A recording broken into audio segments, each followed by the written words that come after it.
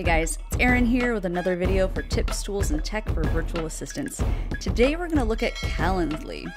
If you're not familiar with Calendly, it's a free online scheduling software. I love using Calendly, not just because it's free, simple, and easy to set up, but because it makes booking calls with either current clients or future clients really, really easy. Plus, I think having a link that syncs up with your calendar makes you look like a more professional virtual assistant. So let's just say, for the sake of this video, you are wanting to set up a Calendly link so that it's easier for prospective clients to book calls with you. And then hopefully you can pitch and land those clients when you guys connect. So, first thing you're going to do is sign up and you're going to enter your email address. Of course, you can also sign on automatically with one click through Gmail, Outlook, Apple, etc., etc. When you first sign up for Calendly, your dashboard will look really similar. The first thing you might notice is that Calendly gives you your very own unique link.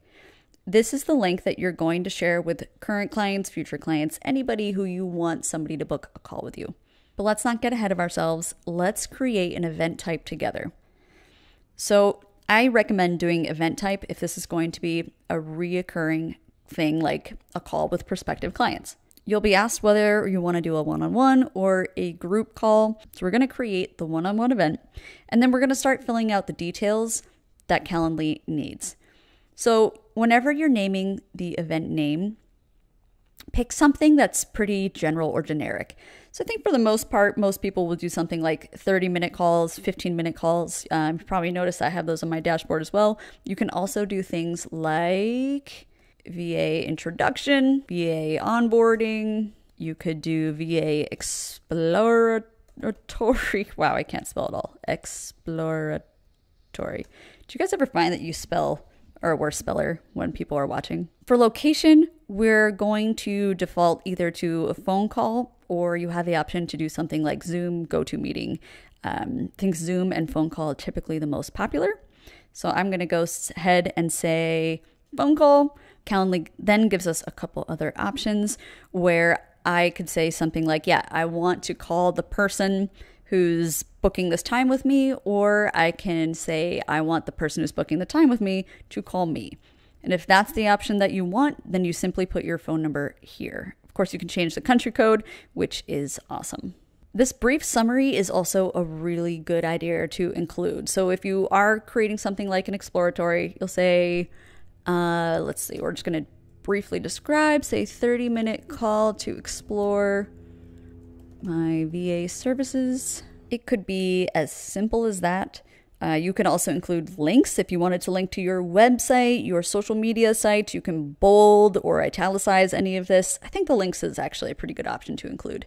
But when you're satisfied with all the details, you're going to hit next. Then the fun part about Calendly is it syncs to your specific calendar and availability. So you can choose to have the people who are looking at your calendar link, you can choose how many days ahead they can book with you in the future. Uh, if you are doing this for exploratory calls, I think it makes sense to do a month booking in the future. You can select your own date range, like maybe you only are taking on new clients for the month of October. Um, there are a lot of, there we go. Or you can say, hey, indefinitely, I don't care if a potential client books a call with me a year in advance. I typically keep it to a 30 day window just so I can be sure to capture interesting, interested leads when they find me in the moment. 30 minutes is pretty typical. 15 minutes is good too, but I think if you're doing an exploratory, save at least 30 minutes so that you can explain your services. You can really talk to this person who might be interested in working with you. That gives you a pretty good time frame to get a sense for what services they're looking for, uh, what their life is like, what their personal life is like, what their work life is like. Then we can also set custom hours. So this gives you total control over when you want to take calls. So, for example, I don't take calls over the weekend or on Friday, but I do take potential calls between three hours uh, during the day for a specific time zone, Monday through Thursday. So you can do more than I'm doing, you can do less. You have total control over all of the times that you want to book calls with people. Now let's go back to my homepage and I want to show you what a finished meeting looks like. On the free plan, again, you get one thing, so I want to go ahead and turn this one on. Let's view the booking page.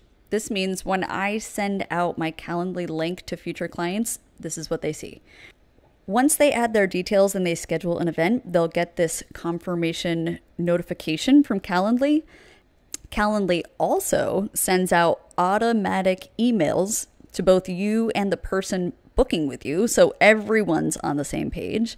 And then last but not least, details will get populated on your calendar too.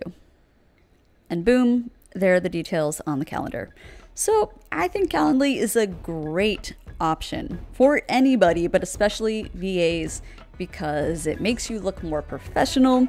It takes some of the back and forth emailing or calendar invitations off of your plate. And if you do ever find that you need to upgrade, $8 a month is not a bad price for their services and for all the great features that you get. Hopefully, this video was helpful for you. If you are not using Calendly, give it a shot. You might find that you like it, and if anything, it might just help convince future clients to hire you because you are chef's kiss so professional.